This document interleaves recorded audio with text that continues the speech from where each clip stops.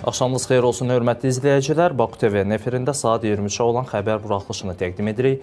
Studiyada Yelmar Məmmədidir. Əvvəlcə qısa xəbər başlıqlarını nəzər salaq, daha sonra təfərrüatla davam edəcəyik. Naxçıvan istiqamətində mövqelərimiz atəşə tutuldu. Ermənistan növbəti dəfə təxribata əl atdı. Sülh sazişindən imtina edə bilərik. Ermənistan parlamentinin sədri yenə iki başlı danışdı. Ukrayna diplomları Azərbaycanda tanınmayacaq. Təhsildə Keyfiyyət Təminatı Agentliyi tələbələrə çağırış etdi.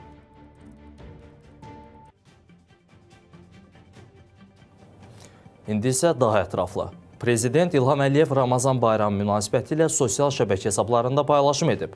Paylaşımda deyilir: Ramazan bayramınız mübarək.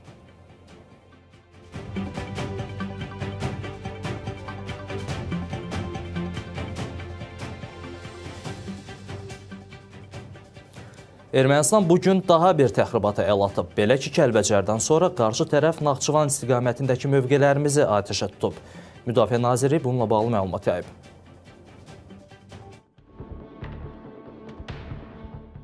Naxçıvan istiqamətində mövqelərimiz atəşə tutulub. Bu barədə Müdafiə Nazirliyindən məlumat verilib. Qeyd edilib ki, aprelin 9-u saat 16:00-dan 16:50-ədək Ermənistan silahlı qüvvələrinin bölmələri Keşişkənd rayonunun Arpa yaşayış məntəqəsi istiqamətində yerləşən mövqelərindən ordumuzun Naxçıvan Muxtar Respublikasının Şərur rayonunun Cəhazir yaşayış məntəqəsi istiqamətində yerləşən mövqelərini müxtəlif çaplı atıcı silahlardan atəşə tutub. Ordumuzun bölmələri tərəfindən qeyd olunan istiqamətdə adekvat cavab tədbirləri görülüb.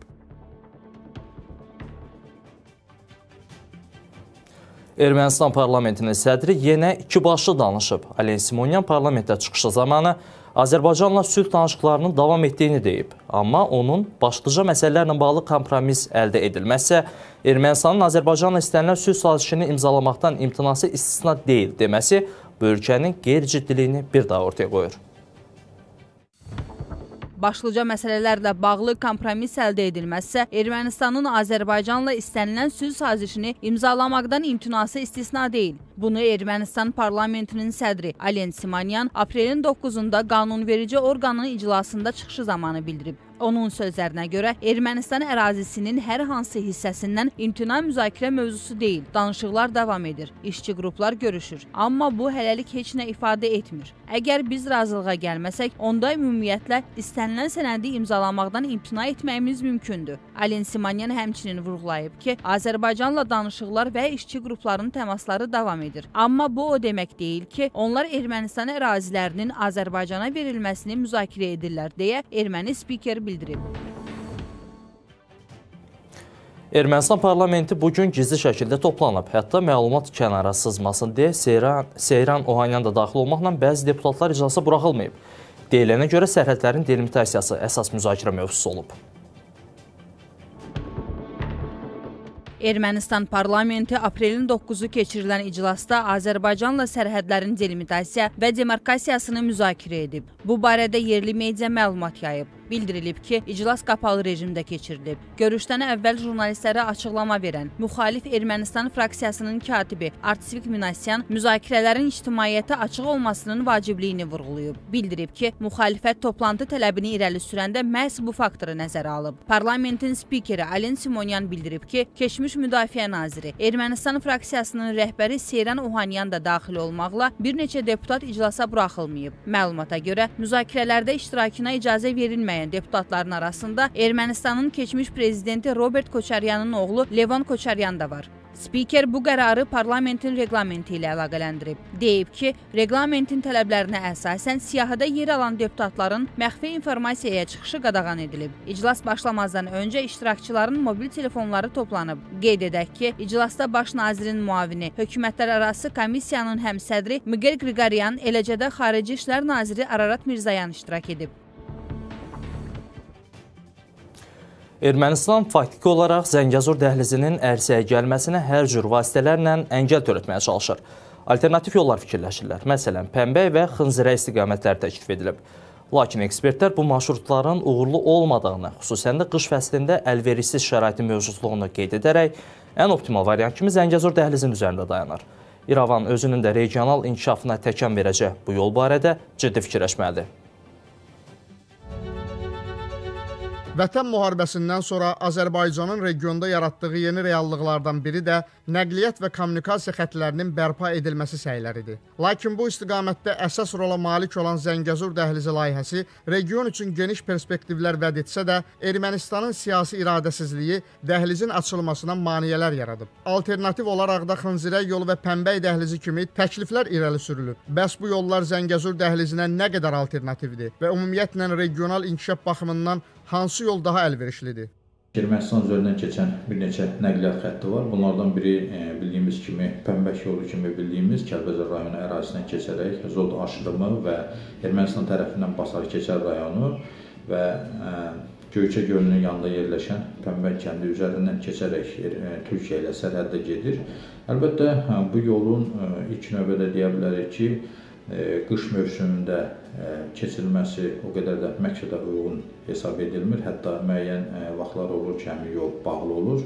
Ancaq yaz və yaz yay mövsümlərində əsasən də minik avtomobillərində hərəkət etmək məqsədə uyğundur. Çünki böyük yük maşınlarının burada hərəkəti o qədər də mən məhsuldar hesab etmirəm. Zəngəzur dəhlizi bildiyimiz kimi Zəngilan rayonu Ağbənd, eyni zamanda Meyri və Naxçıvan istiqamətində keçən bu yol düzənlik ərazidədir və ilin bütün mövsümü üçün işləkdir və xüsusilə də yüklərin daşınması burada təkcə avtomobillə deyil, eyni zamanda dəmir yol xəttinin həmin ərazidən keçirməsi, kommunikasiya xəttlərinin oradan keçirməsi əlbəttə həm ərazi baxımından, eyni zamanda keçiriciliyi baxımından daha məqsədə uyğundur və elə hesab edirəm ki, bu xəttin açılması nəinki Azərbaycan və Türkiyə, eyni zamanda Ermənistan özü üçün də ciddi əhəmiyyət kəsb etməlidir. Politoloq Cümşüd Nuriyev də hesab eləyir ki, Zəngəzur dəhlizi coğrafi şəraitinə görə digər yollarla müqayisədə daha əlverişlidir. Pənbək dəhlizinin relyefi çox çətin bir relyefdir. Oradan çəkiləcək yol gərək daha çox tunellərlə ola, o baha başa gələn bir layihədir. Yəni onlar istəyir ki, Zəngəzur açılmasın, Azərbaycan hər şey İran üstündən daşsın. İranın iqtisadi maraqlarına xidmət edən bir layihədir. Və onu da ermənilər də bunu elə belə fikirləşməyib. Bunlar bu güya sülh qovşağı deyilən bir layihə atıblar yola. Bu da boş şeydir. İkinci bir məsələni də o biçənək yolunu gündəmə gətirirlər. Ondan da pis vəziyyətdədir. Ən ideal variant Zəngəzur dəhlizidir. Bir sözlə Zəngəzur dəhlizinin açılması iqtisadi inkişaf baxımından region üçün mühüm əhəmiyyətə malikdir. Ermənistan isə bu prosesi ləngitməklə regionun təhlükəsizliyini təhdid eləyir. Bu baxımdan rəsmi İrəvan da üzərinə düşən öhdəlikləri yerinə yetirməli, dəhlizin açılması üçün əməli addımlar atmalıdır. GM200 radarı Ermənistandadır. Bu barədə Fransanın Ermənistandakı səfiri məlumat verib. Diplomat bu radarlardan 3 ədədinin İrəvana təhvil veriləcəyini deyib. Söz gedən silah hava hücumundan müdafiə üçün nəzərdə tutulub.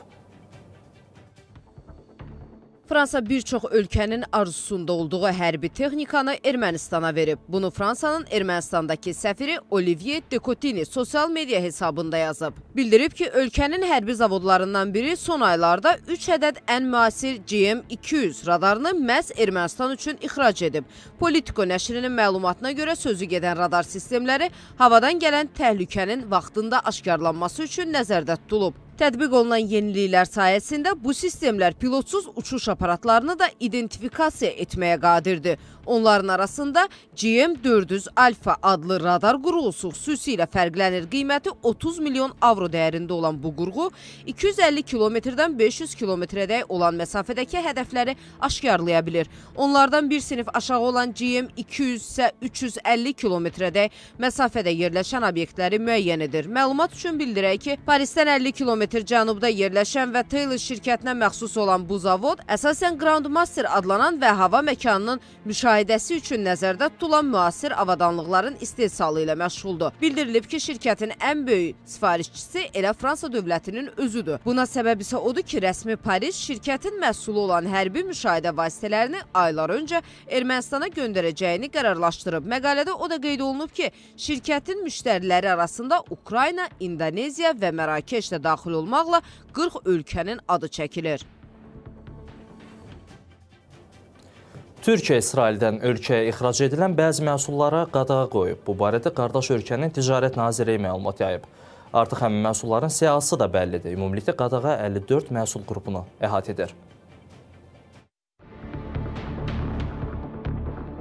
Türkiyə Ticarət Nazirliyi İsrailə 54 məhsul qrupu üzrə ixrac məhdudiyyəti qoyub. Bu barədə Nazirliyin rəsmi sosial media hesabında paylaşım edilib. Qeyd olunub ki, Türkiyə 2024-cü ilin aprelin 9-dan etibarən ilkin mərhələdə bir sıra məhsul qrupları üzrə malların İsrailə ixracını məhdudlaşdırmaq qərarına gəlib. Ticarət Nazirliyi tələbləri dərhal icra edəcək. Məlumata görə bu qərar İsrailin beynəlxalq hüquqa əsaslanan öhdəlikləri çərçivəsində Qəzzada dərhal atəşkəs elan edənə, Qəzza zolağına fasiləsiz humanitar yardımın daxil olmasına icazə verənə qədər qüvvədə qalacaq.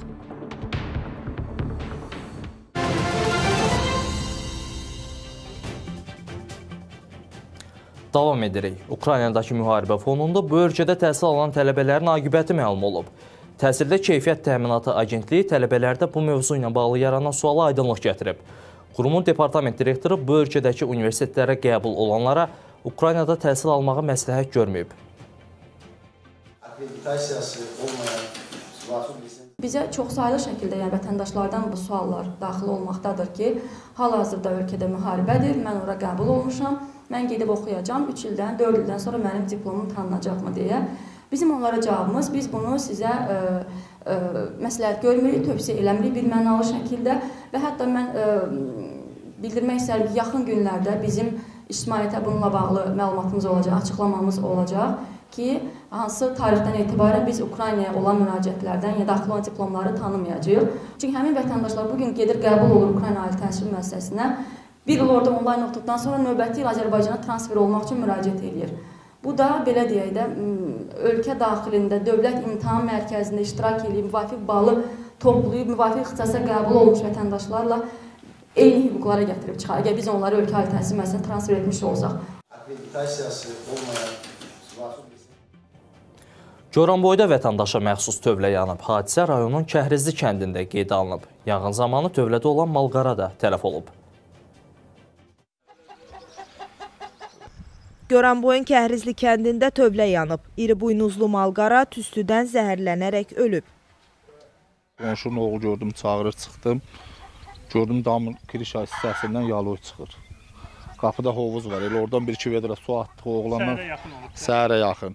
Qonşuları çağırdı. Getdim o birisi qapını açdım, səhər tüstü idi. Gördüm mallar yerdə yıxılıb ölüblər.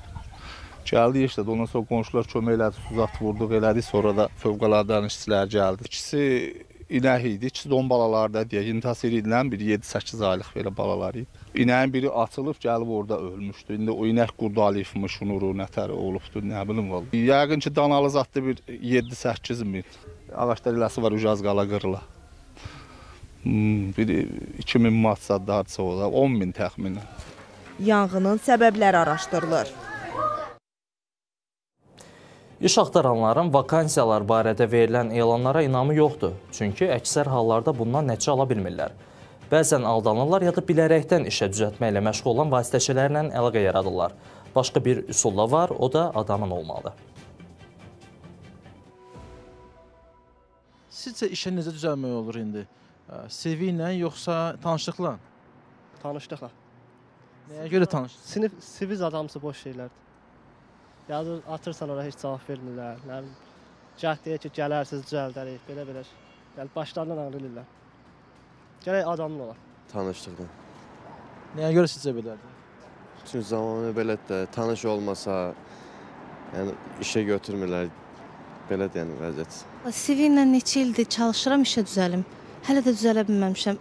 CV ilə düzələnlər məncə indiki zamanda çox azdır. Əsas ə, tanışlıq olsun gərək. Baxır hansı şirkətdə, yəni fərqlidir, yəni hal-hazırda.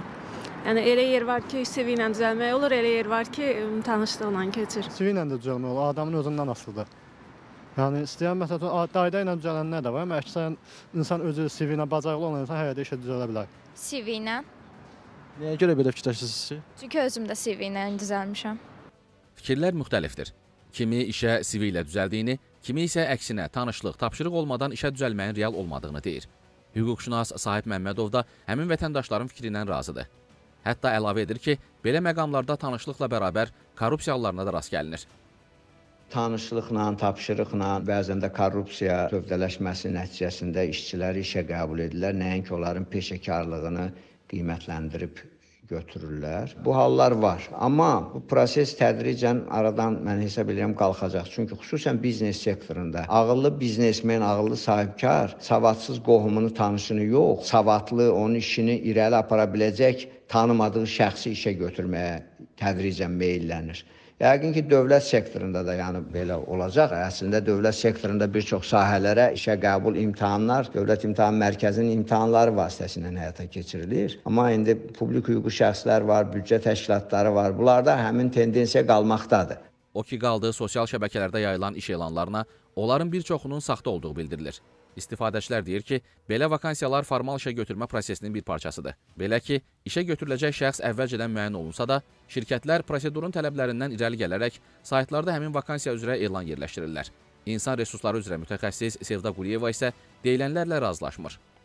İşə qəbul mərhələsi bir neçə üsullardan ibarətdir. Bu elanların xaricə verilməsi ilə yaranmış vakansiyaya əsasən artıq biz elanı müəyyən sosial şəbəkələrdə və işə qəbul elanlarında yerləşdirərək ən uyğun CV-ləri dəyərləndirib və ən uyğun namizədləri işə qəbul edərək həyata keçiririk. Digər mərhələ isə daxili işə qəbul mərhələsidir ki, burada artıq şirkət daxili elanların yerləşdirilməsi və yalnız şirkət daxildən işə qəbul üzrə namizədi dəyərləndirmək mərhələsidir. Mütəxəssis əlavə edir ki, işə qəbulun başqa bir üsulu da var. Namizədlərin gizlin axtarışı. Belə ki, bu yolla digər şirkətlərdəki yüksək bilik və bacarıqlara malik olan işçilər cəlb edilir.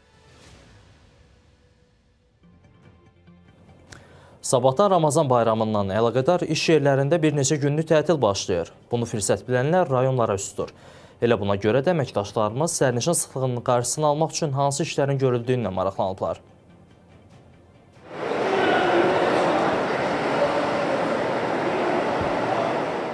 Ramazan bayramı ilə bağlı aprelin 10-dan 14-ünə kimi qeyri-iş günləridir. Bunu fürsət bilən vətəndaşlar artıq bölgələrə üst tuturlar. Bakı Beynəlxalq Avtovağzal kompleksi gücləndirilmiş iş rejiminə aprelin 10-undan başlasa da burada artıq canlanma müşahidə edilir.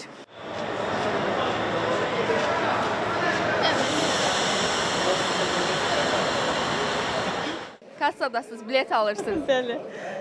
Necədir vəziyyət? Yaxşıdır, şükür. Bilet tapa bilirsiniz? Bəli, bəli, yaxşıdır hər şey.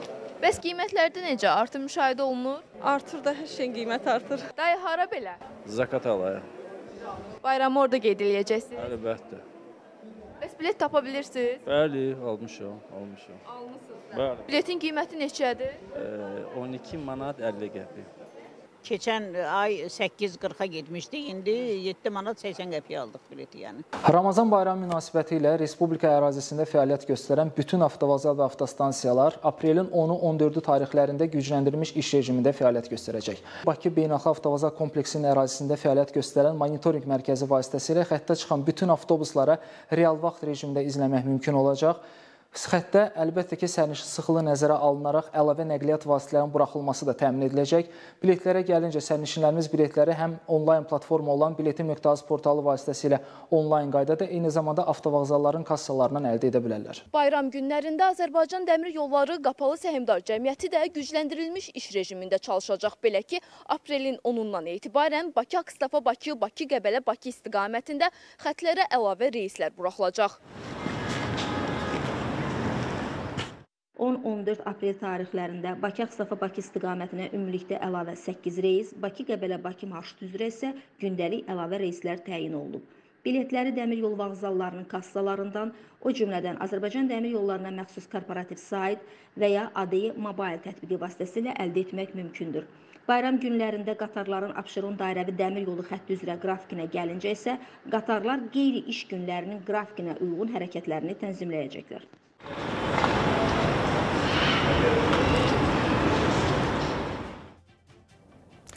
Sonuncu sujetimizdə isə 18 yaşlı gəncin bacarığından danışacağıq. Belə ki, Qax rayon sakini dron və təyyarə modelləri hazırlayır. Nihat Xasiyevin düzəltdiyi modellər hər kəsin diqqətini cəlb edir. Mühəndis olmaq istəyən gənc bu işə uşaqlıqdan həvəs göstərdiyini deyir.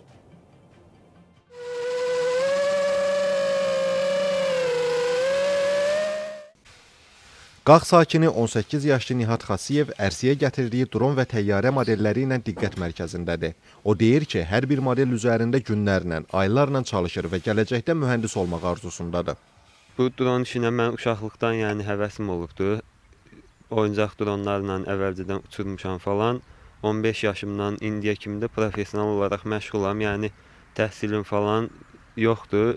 Özüm yəni öz biliyimlə belə yəni FPV dronları yığmışam, samolyotları yığmışam. FPV yarış dronudur. Həm çəkiliş üçün istifadə olunur. Sürət üçün olan bir drondur. Yük daşıma qabiliyyəti yəni yüksəkdir. Detalları xaricdən sifarişlə gətirib elektronika hissələrini falan burada özüm yəni öz biliyimlə yığmışam. Dronun kamerası var. Bu kamera bu eynəyə ötürür. Bu eynəkdən mən baxıram dronun yəni hansı istiqamətdə olduğuna. Yəni buradan çəkilişlər eləyirəm.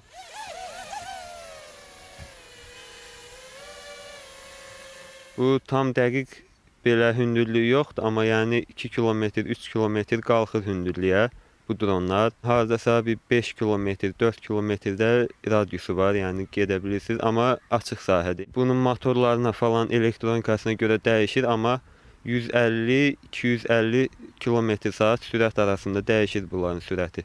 Bütün elektronikası fərqli olmalıdır ki, dronun sürəti məsəl üçün 10 km/saat çox olsun. Nə başqa cürə, yəni 20 km/saat çox olsun. Hal-hazırda bu dronun 180 km/saat sürəti var. Təyyarə hobi məqsədi ilə hazırlamışam. Həm də aerodinamikanı öyrənmək, elektronikanı öyrənmək üçün hazırlamışam. Hardasa 110 km/saat sürəti var idi. Yəni onda uçuş testlərini falan eləmişəm. Hər bir şey super idi. Yəni özümü inkişaf məqsədi ilə hazırlamışam təyyarəni.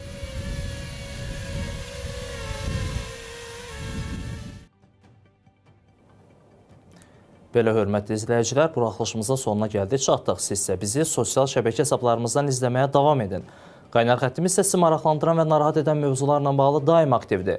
Həmçinin ekranda gördüyünüz frekansları yığmaqla Azərspace Peki vasitəsilə bizi həm Avropa, həm də Asiyada izləmək mümkündür. Eyni zamanda kabel yayımında Aztelekom, Baktelekomda 10-cu, Citynet-də 18-ci, Connect TV-də 2-ci, KTV-də analog yayımında 12-ci, rəqəmsal yayımda isə 22-ci kanalda, Ailə TV-də isə IP yayımında 8, rəqəmsal yayımda 17-ci, analog yayımında isə 31-ci kanalda bizə baxa bilərsiniz.